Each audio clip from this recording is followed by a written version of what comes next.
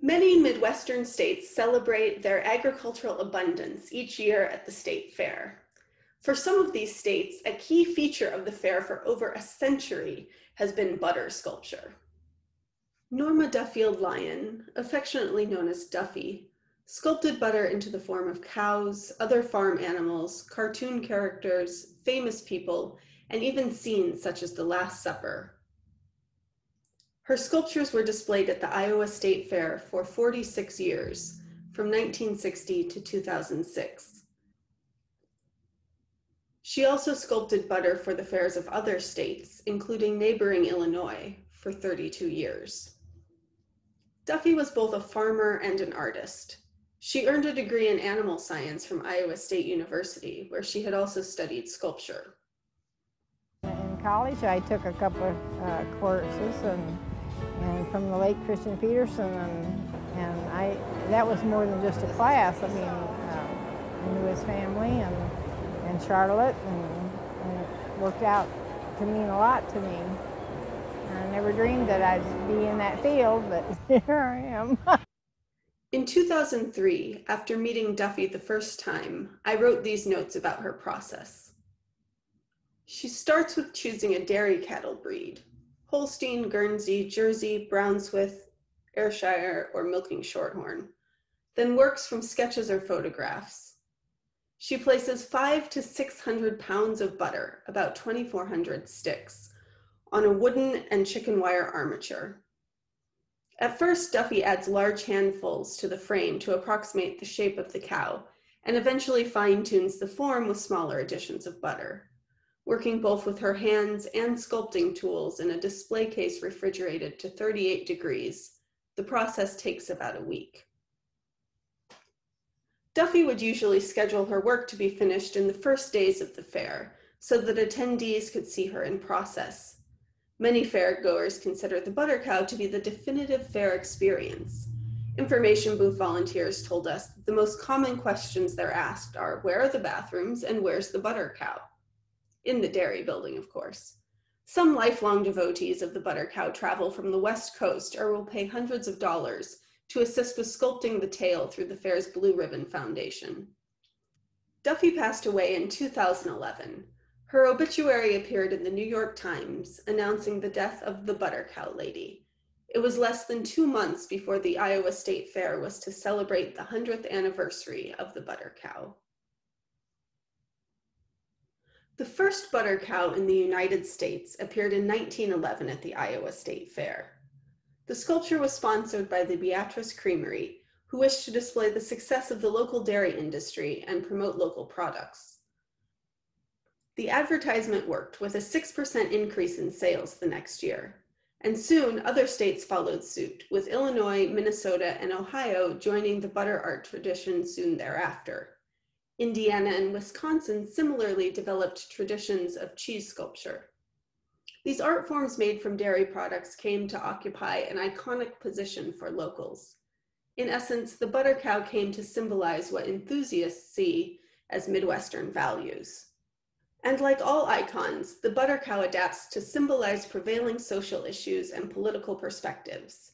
Anthropologist Milton Singer writes that such cultural displays cast light on the way in which cultural themes and values are communicated, as well as on processes of social and cultural change.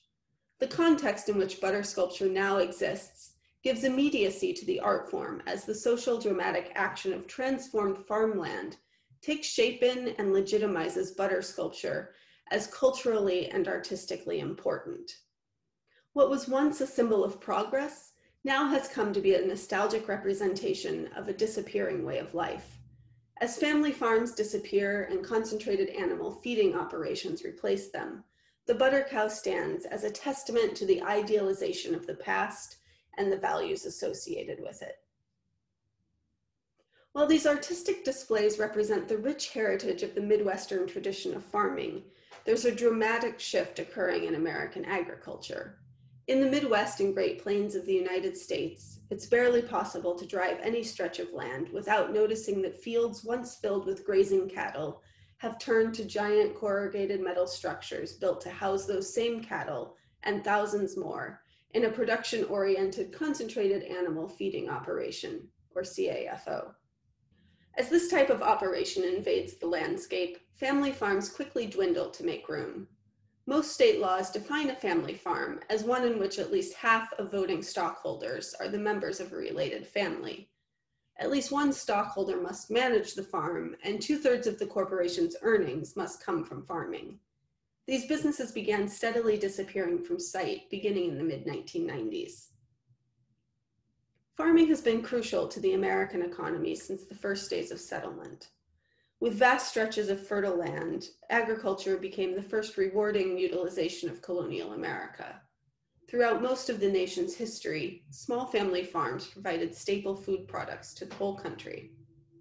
As time elapsed, however, technology was introduced into farming, and it became increasingly advantageous for agriculture to turn into a large scale operation.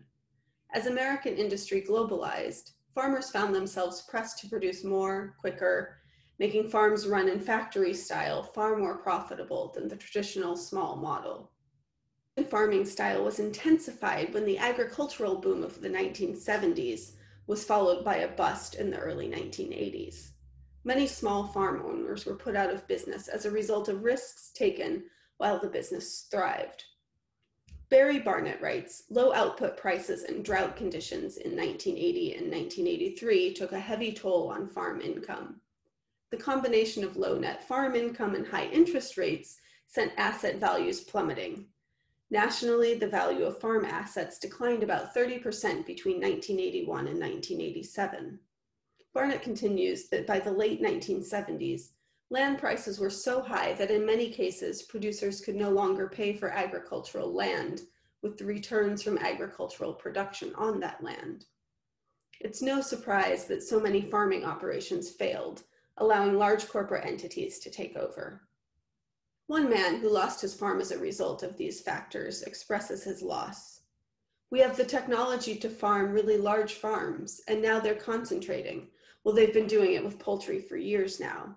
We're seeing it in hogs and cattle and all these other areas. There's really no way you can stop it.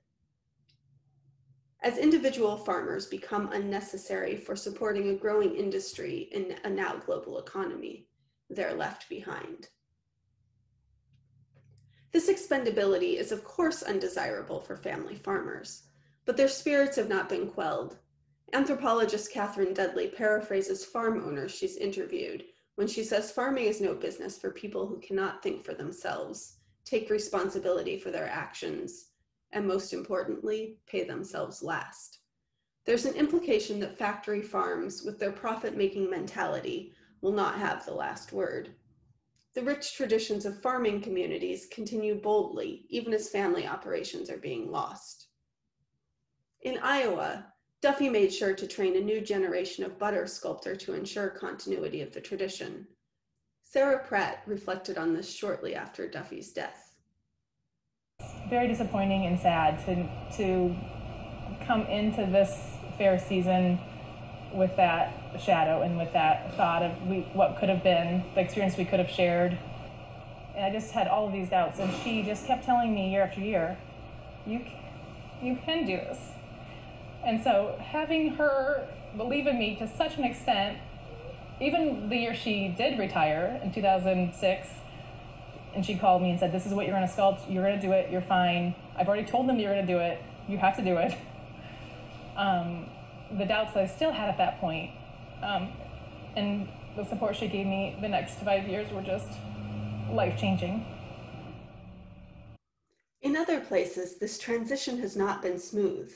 Traditions take on new meaning in the shifting context and at times are subject to contestation.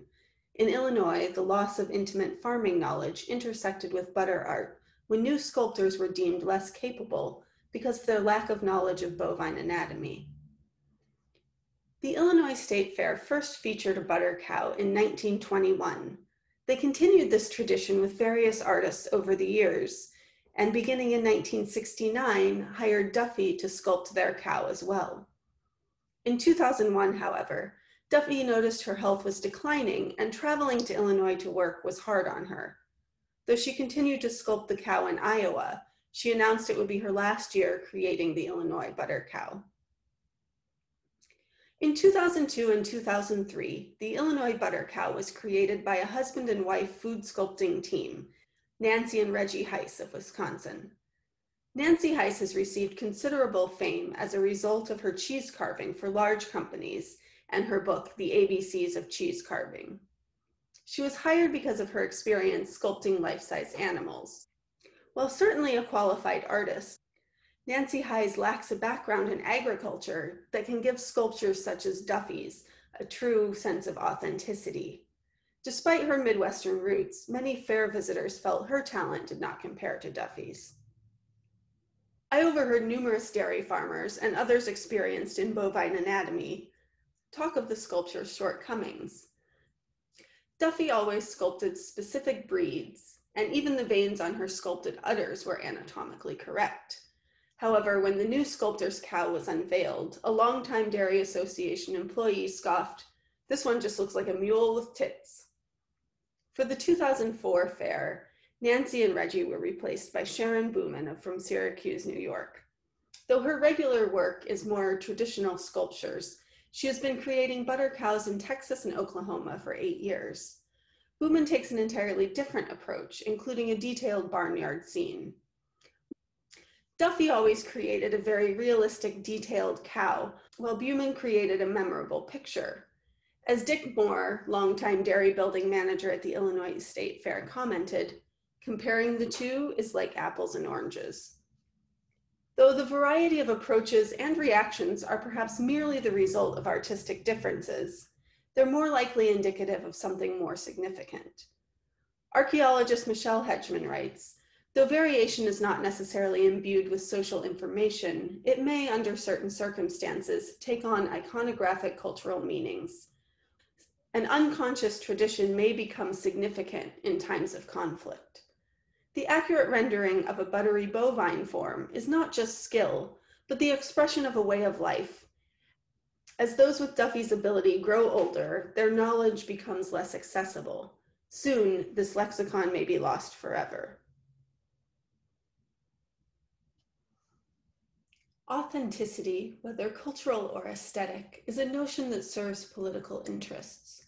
The butter cow, as displayed at the state fair, evokes place based pride and nostalgia in its viewers, reconnecting them to the state and the agricultural lifestyle being promoted within the fair.